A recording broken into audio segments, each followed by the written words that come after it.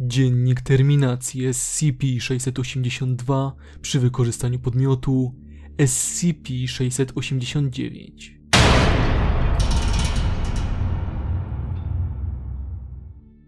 SCP-689 to zielona figurka zrobiona z wapienia o wysokości 30 cm. SCP-689 pozostaje nieruchoma tak długo, jak jest obserwowana przez przynajmniej jedną osobę. Jeśli jednak przez chwilę przestanie być obserwowana, znika i w ciągu od 15-20 sekund jedna z osób, które wcześniej obserwowały SCP-689 natychmiastowo umiera, a SCP-689 pojawia się ponownie, tym razem na jej zwłokach.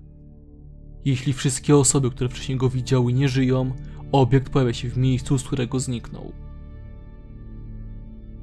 Po porażkach i wyczerpaniu innych możliwości oraz ze względu na priorytet, jakim obdarzone jest zadanie skutecznego uśmiercenia SCP-682, doktorzy i zaproponowali, żeby SCP-682 został wystawiony na działanie SCP-689 poprzedzające wyłączenie świateł bądź inne akcje mogące wywołać anomalne właściwości SCP-689. Personel zajmujący się SCP-689 ostrzegł, że w przypadku porażki kontrolnej obserwacji, każdy członek personelu, który widział SCP-689 musi zostać poddany terminacji albo umieszczony w komorze przechowującej z wyznaczonym celem, tak aby pewne było, że obiekt nie opuści przechowalni. Ze względu na losowość wyboru ofiary, możliwe jest, że wymagane będą wielokrotne próby, zanim SCP-682 stanie się celem obiektu. W przypadku takiego scenariusza, personel zaleca terminację klasy D w celu zwiększenia szansy na sukces. Zapis wstępnego testu na próbce. Pominięte przez Radę O5.